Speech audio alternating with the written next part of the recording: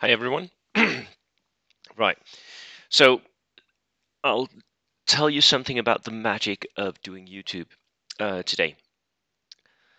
Just because a thousand people have reached out to me and commented. Um, I don't script my stuff. Um, when I, I go over lists, I it's just these are my thoughts. Nor do I script um, my videos, my tutorial videos. Um, I may make a few notes for them, but that's it. Um, and this is in order for me to to make as much content as I, as I do. It's also um, because honestly, I, I do make mistakes anyway. So the point is, I make mistakes. Um, looking back over my catalog, I've said a lot of stuff that that isn't right. Usually, it's it's about like I should have maybe looked up a, a rule that I'm referencing, like offhand referencing something. I do make mistakes. I don't know a lot of people that that know all the rules correctly of this game, which kind of is a problem of second edition Action, isn't it? That that the rules are not written in a way where they are always clear and understood, and there are many of them that that just, just fudges me. Uh, recently, I made a video in which I was uh, referencing that um, what what a tank is, and I mixed up two rules inside my head. Um, one rule is that when you're uh, doing tank assaults, you need to be eight plus and tracked. No, you don't need to be tracked, just eight plus. Um, but if you're doing tank fear, then you need to be eight plus and close top. Is that it? Maybe I should look it up, right? Um, so, and and this was not even what the video was about. Um, the video was about how to how to use cavalry against tanks, and in this case, an open top one. Um, so the video stands. the The tactic is absolutely valid. The only thing is that apparently the tank I was uh, using as a reference at that point could have assaulted um, which wouldn't have done much in. Uh, uh okay, um, it didn't really matter, but a lot of people picked up. Ooh, the tank can't assault, and and forgot to look up the rule book, and I forgot to look up the rule book because there, I mixed up two rules, and there's a difference apparently. Again, the rules really need to be cleaned out, don't they? Um, so I do that. That happens a lot. I also, when I look at a list, I, I give you my first impression. I, I, I don't um, go over the list beforehand, make notes, look it up in the rules, uh, look it up in the books. So I don't know all the selectors, I don't know all the special rules. So I do make mistakes. I also make sometimes make mistakes using my keyboard on my computer here, using this software that you're looking. I'm I'm recording uh, right now on this software. Um, sometimes if I forget to press a certain button, well, the screen goes off. So let me just show you. I can, I can do that. Then I, I show you my screen. If I do that, I show you my face. If I do that, I show you my intro. So, so, and if I forget to press that one button, so, um, which is another mistake I recently made. I'm, I released a video going over two lists and I forgot to press the button. So, um, no need to remind me all the time. It's embarrassing enough as it is, but I do make mistakes. Um, I don't go back over and redo it because I have so many people in waiting lists. Um, so if I make a mistake with your specific list, I'm sorry, but I am only human. So that was all the mistakes. Um, it down and, and uh, deliberately set out there. Now, if I'm ever going to do a tutorial about a specific rule, then I will redo it, I promise. But if I'm doing it, about something else, I may make mistakes in the offhand comments. That is not really about what I'm talking about. Uh, just, yeah.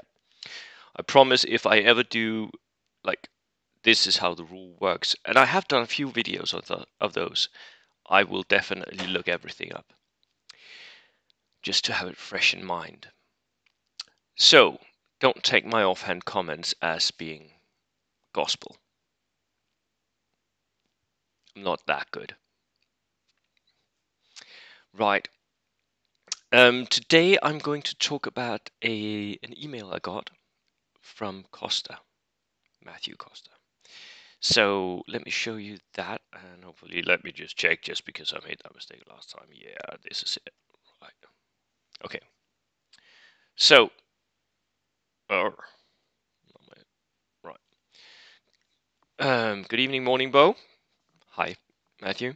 I'm an American viewer of yours, and your partisan list has given me some thought uh, uh, to a list design that a friend of mine and I created. Ooh. Um, I am very new to the game. I only played three games. Okay, but absolutely loving it. Great, great to have you. Welcome. I, I agree. This is one of the best games. Um, the list is partisans. Of course it is. 24 order dice, 1,000 points, two platoons, 1942 to 45 liberation. Okay. 24 order dice. That is a uh, that's a horde list or an MSU list, depending on how you build it. Um, it is comprised of eight units of inexperienced partisans, everybody pistols. That's what I call pistolero units eight units of pistoleros. They are dirt cheap, they're inexperienced, they have tough fighter. That is that's the horde, right? If that if those are full units, eight units, wow, that is eight times twenty. So it's 160 dudes. Um, and then eight general usage trucks, two having MMGs, just to spend the points. I don't know that the trucks are needed. Also, all inexperienced. That's that's an MSU thing. Um, if if you have them, if you have your inexperienced partisans in trucks, that means you have twelve man units or ten, depending on how big the truck is.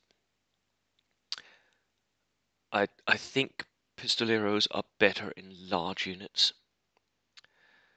Two regular bazooka teams with inexperienced civilian cars. Yeah, that will mess up any Stuart they throw at you. One medium mortar team, regular. One sniper, regular. You know what? I would cut away those trucks. I would cut away the trucks, all of them, and just use the points on uh, extra medium mortar team and an extra sniper team, and um, and then for the rest of them, buy extra inexperienced partisans, make your units bigger.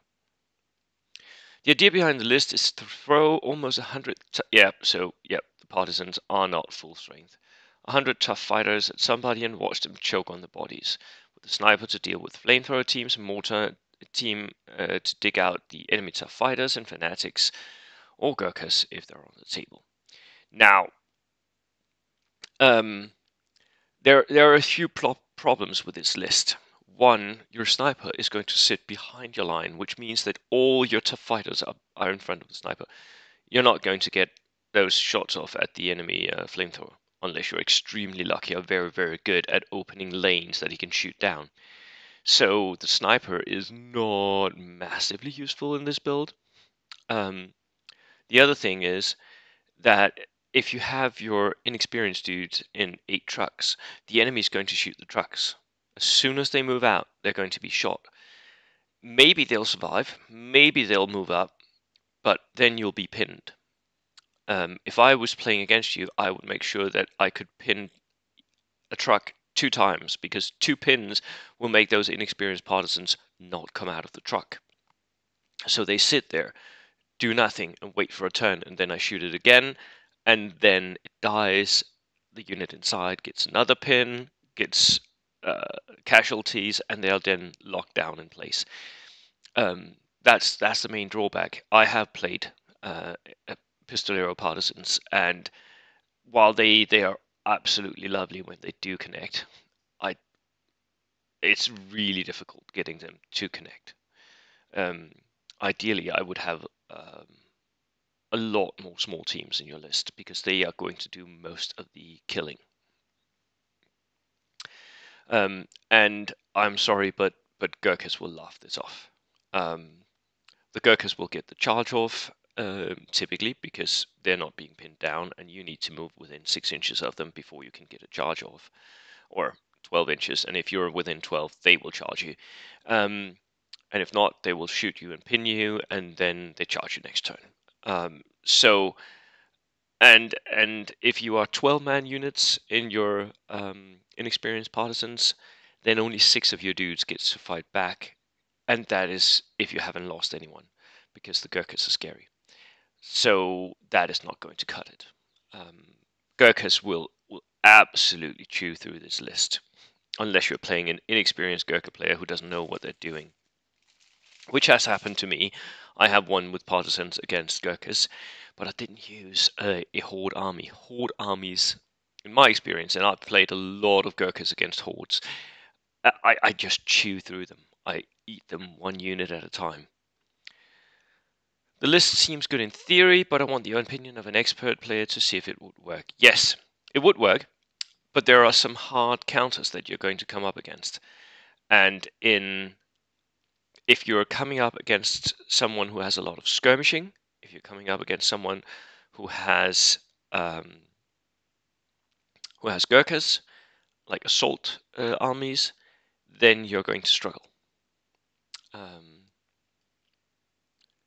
yeah. Do not worry about dice limits or anything like that. Um, actually, your your dice may be a problem here. Um, 24 order dice is a lot of order dice. You will dominate the, the order dice bag. But, and that is one of the problems of horde armies, is the more order dice you put into the army, the less effective each order dice becomes. It becomes weaker and weaker and weaker. At some point, there's a tipping point where the the order dice is not worth it anymore. I think actually going down to 20 order dice here, or even 16, might actually benefit you more. So, and that's why I say buy another medium mortar, buy another sniper. Um, if you're running those medium mortars, you could run them inexperienced, by the way. But if you're running them regular, buy them as spotter as well. Um, maybe if you have the points left over, buy yourself a Nebelwerfer. You can buy a Panzerwerfer uh, in like a German captured vehicle, inexperienced um, and then use the rest of the points on partisans. Bring it down to 20 order dice, I think. Might be a good idea. Um, just because the, you're going to lose so many kill dice. So there are there are missions and there are lists that are hard counters to you. In a tournament setting, that would be a bad idea. For a club game where you just want to field 100 um, pistoleros, go for it. It'll be fun. It will really be fun. Right. That was it, everyone, for today. Me admitting to all my mistakes and then um, trying to sound as if I know what I'm talking about. I will see you all in the next video. Cheers.